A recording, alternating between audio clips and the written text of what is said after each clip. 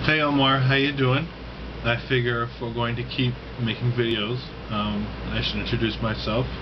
My name is Richie from New York City.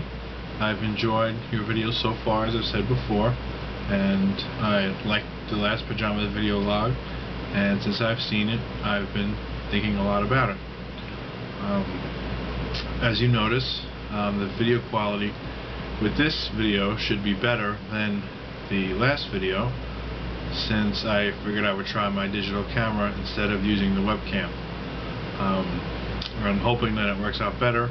Um, testing it seemed to be better, so I didn't like really like the way the webcam looked. It looked too grainy. So, but as you can see, I'm in the requisite pajamas and bathrobe. Um, different ones than last time, but still, just just for the the video log. Um, I do have to say I really was impressed with how the last video looked.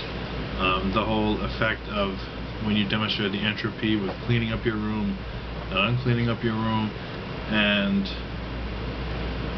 um, at first I thought it was just that the video was rewound, but then in the part where you're cleaning the room, it looks like you're wearing socks or slippers, so it's not the same as the first take, although it looks very similar. But very nicely done overall, I have to say. Um, as you can see, my apartment does have a lot of entropy. Um, that's what that's what comes with living in a small New York City apartment. It gets kind of cluttered.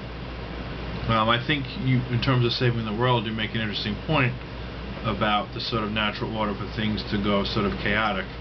But I think the big thing to think about is that you have a whole lot of people that are scrambling for limited resources, the limited resources this world has to offer, and I think that's something to really think about when trying to think about saving the world and how much you'll be able to do. I mean, some some folks are able to to make big changes, but but I think for the average person, I think the way you make changes, starting in your your community or your where you live, and try and volunteer or help out a little bit, be nice even, um, and you know, if you can do a little bit of that, I think you've done a lot. Because I don't think anybody and everybody can be a big, a big hero or be someone that really is able to make a big difference. I think that's just unrealistic.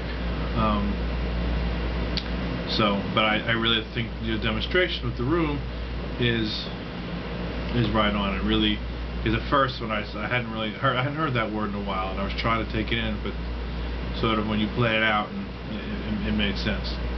So that's sort of my take on the situation. I look forward to your next video and your response. Um, thanks a lot and take care.